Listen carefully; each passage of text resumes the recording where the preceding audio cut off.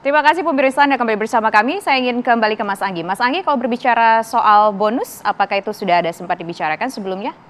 Kepada siapa? Kepada keluarga yang bersangkutan, misalnya keluarga Vina. Setahu saya sih udah ada, hmm. udah ada. Jadi emang uh, ada perjanjian before dan afternya ya. Biasa sih lumrah sih seperti itu ya. Hmm. Dan apalagi ini mengenai izin ya dari dari ya kita bisa bilangnya intellectual propertinya milik siapa nih gitu hmm. ini milik keluarga kan hmm. ya pasti sih udah ada sih. Hmm. Nah kemudian kalau misalkan untuk Linda sendiri apakah ada? Karena kan dia juga ada masuk ke dalam film tersebut tokoh ataupun karakter yang Mas dengar-dengar seperti apa? Uh, saya nggak tahu ya, maksudnya kan ini sebenarnya urusan produser sih. Hmm. Tapi biasanya kalau emang kita memerlukan izin atau apa pun yang berkontribusi terhadap film pasti ada kompensasi kesejahteraannya yang setara dengan nilainya gitu sih pasti. Hmm, tapi itu rahasia dapur ya, nggak bisa diberikan informasinya Saya aja nggak tahu yang yang hmm. suka lewat-lewat dapur juga nggak tahu juga. Gitu. Mas Anggi ini, uh, sorry, Mas uh, Anggi, ini kan ada karakter Egi ya dalam film itu. Yeah. Kemudian yang Egi yang kita dengar sekarang yang udah ditangkap, itu sesuai nggak sesuai ya kayaknya dengan apa yang kita tonton di filmnya yang Mas Anggi buat? Kalau ya kalau dibandingkan dengan film jauh ya. Hmm not fit the profile lah itu kan. According to the movie gitu kan berdasarkan filmnya.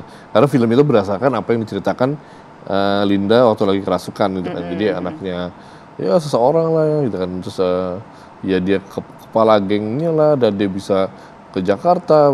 Pasti kan pasti kan kita mikirnya tuh oh ini berarti emang orang yang berada gitu, gitu ya. uh, terus uh, mungkin nggak kerja as a konstruktor apa kuli bangunan juga gitu kan.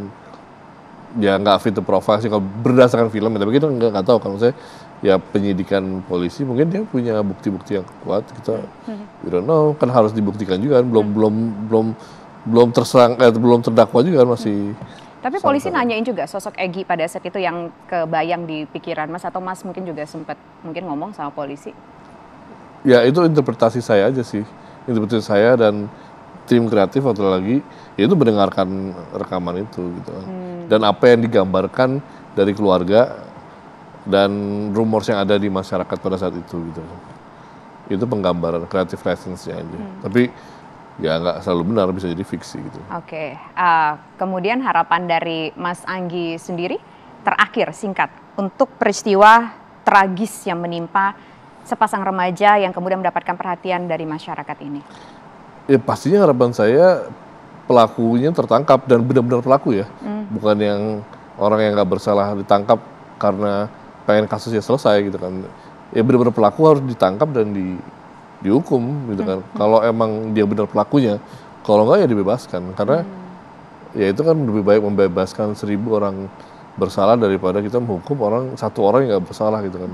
Saya ya keadilan harus tetap terjaga sih di bumi Indonesia itu dan jangan sampai ada kasus-kasus seperti ini lagi gitu kasus-kasus seperti Vina lagi gitu kan ini yang menjadi concern saya sih ke depannya karena saya punya anak perempuan gitu kan hmm. anak punya anak laki-laki juga gitu kan bahwa kenakalan bullying itu itu eh, nggak uh, main-main ujungnya gitu hmm. kadang kita bisa bercanda bullying di sini dengan kenakalan ini katanya uh, dalam sekejap itu bisa jadi tragedi gitu hmm. oke okay. Baik, terima kasih Mas Anggi Umbara sudah bersedia hadir di One on One dan pemirsa demikian kebersamaan kita dalam One on One kali ini. Saya Tisa Noveni, selamat malam, sampai jumpa.